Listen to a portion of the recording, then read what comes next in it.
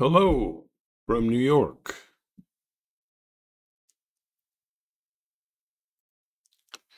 Today, hope dope dancing, punishing hate, frightened empty minds.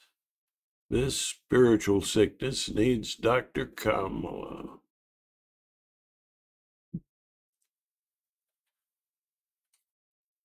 High on empty, positive sounding phrases and fear based imaginations and thoughts. Keep voters dumbed down and rallying around single issues they have never thought about in any seriously objective way. The better educated see through this, but in politics they use speeches to avoid offending ignorance and tailor their statements as if talking to third graders. When poverty is allowed, many are too busy to notice this dodging of real issues, busy doing all they can to put food on the table and keep themselves housed, warm, cool, safe, and fed. Trying to get along with neighbors of differing opinions and without the extra time to explore which are correct. They vote for the people that make them laugh, that they would have a soda or beer with. When the Workers' Party, called the Democratic Party, tries to help voters, the uh, party of the greedy rich do all they can to keep them focused on their fears and divided against themselves. Voters, you know. Some politicians use inflammatory rhetoric to distract voters from the real needs that they all share.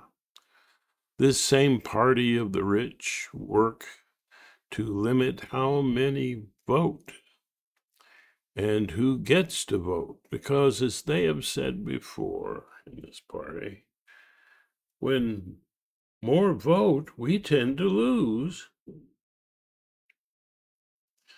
religious concepts that emphasize punishment to almost the complete absence of any healing of minds are very useful to the greedy party that wants not a democracy, but a pretend democracy ruled by a few folks, wealthy and living off the backs of hard-working folk, even the ones that risk their lives to keep the streets and homes and businesses safe, clean, and healthy, and teachers who reach into their own pockets to educate our kids.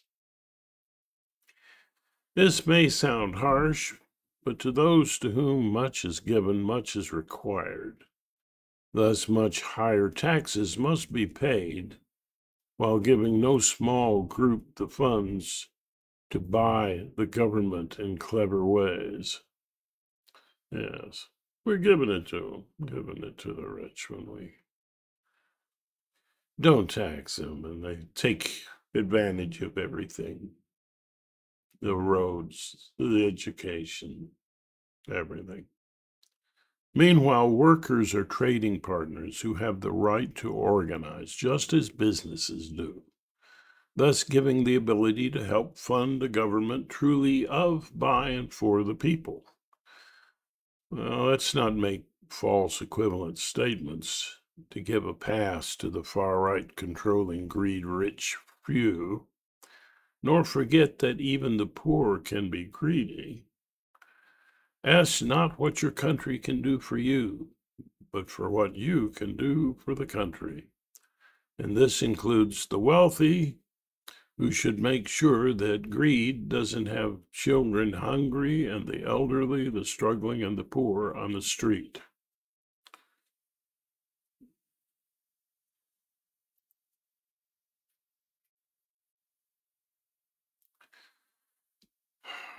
Democrats can't save our nation without the help of the majority of hardworking Americans organizing, voting, and demanding things to be done.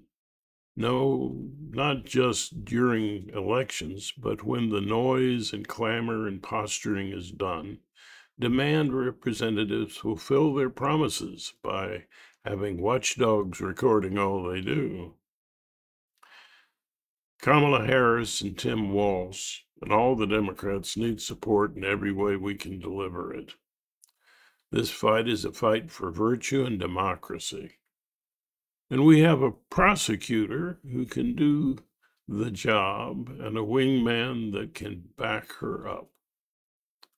Healing minds begins with the power of your inner voice, but it must expand to the greatest voice of all, our votes. That said, have a wonderful day.